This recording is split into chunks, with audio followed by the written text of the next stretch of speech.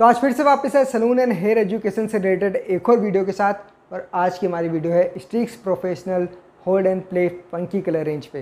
Actually किसी ने मुझसे पूछा था कि कलर करना कैसे है, कितना स्टे करता है तो इसी कलर रेंज को डिटेल में कवर करने वाले हैं आज की इस वीडियो में। तो वीडियो के साथ बने रहना। चैनल बने हैं तो चैनल को सब्सक्राइब कर सकते हो ऐसे ही सलून एजुकेशन रिलेटेड वीडियो देखने के लिए। अब शुरू करते हैं आज की video. I am Mituniyal and welcome to hairdresser zone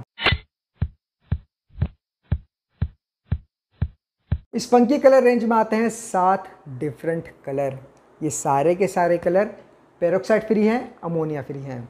कौन कौन से हैं वो कलर तो पहला कलर है इसमें क्रेज़ी वॉलेट दूसरा कलर है इसमें ग्लोरियस ग्रीन काफ़ी डिमांड में है ये. फिर है इसमें तीसरा कलर वंडर ब्लू चौथा कलर है इसमें ग्लोवी पिंक पांचवा कलर है मिस्टिक ब्लू छठा है flirty red as you know flirty red means red colour बहुत ज़्यादा यूज़ होता है सलून में. और सातवां, मेरा सबसे फेवरेट कलर है पर्की ग्रीन अब इस कलर को करने का सही तरीका क्या है? तो देखो, बहुत सिंपल है करना। सबसे पहले आपको हेयर को लिफ्ट करना है एट टू नाइन लेवल तक प्री लाइटिंग की हेल्प से।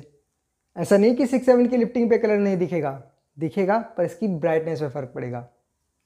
सिक्स सेवन पे थोड़ा कम ब्राइट दिखेगा एट नाइन लेवल पे थोड़ा ज़्यादा ब्राइट दिखेगा। वैसे करने का जो आइडियल तरीका है, वो ये है कि पहले आप हेयर को एट टू नाइन लेवल तक लिफ्ट करें। उसके बाद आप इसे डिपॉजिट करें। डिपॉजिट करने के लिए आपको इसको डेवलपर के साथ मिक्स नहीं करना। जी हाँ सही सुन रहे हैं आप। इसको आपको डेवलपर के साथ मिक्स नहीं करना। आप इसे डायरेक्ट ही डिपॉजिट करेंगे। अच्छे से मल्सीफाई करते हुए डिपॉजिट करेंगे और इसको हेयर पे लगे रहने देंगे 20 से 25 मिनट के लिए। उसके बाद इसे वाटर की हेल्प से रेंज करेंगे और हेयर मास्क यूज़ करेंगे।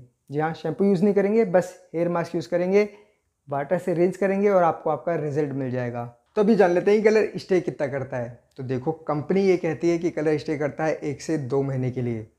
पर ये डिपेंड करता है कि आप कितना फ्रिक्वेंटली हेयर को वॉश कर रहे हैं और कौन सा शैम्पू इस्तेमाल कर रहे हैं। अगर आप अल्टरनेटिव डे में वॉश कर रहे हैं, सल्फेट कंटेंट शैम्पू का इस्तेमाल कर रहे हैं तो इसका रिज़ल्ट एक महीने से पहले भी निकल सकता है। हर वॉश के साथ धीरे धीरे ये फेड आउट होने लग जाता है।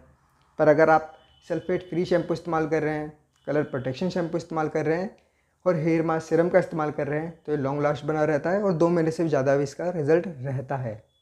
और हाँ जितना हेयर पोरस होगा, उतनी ही जल्दी इसका रिज़ल्ट निकलेगा। सिंपल लॉजिक है। जितना हेयर पोरस होता है हेयर के क्यूटिकल्स ओपन होते हैं। और जहाँ क्यूटिकल्स ओपन है, वहाँ पर रिज़ल्ट लॉन्ग लास्ट नहीं रहता।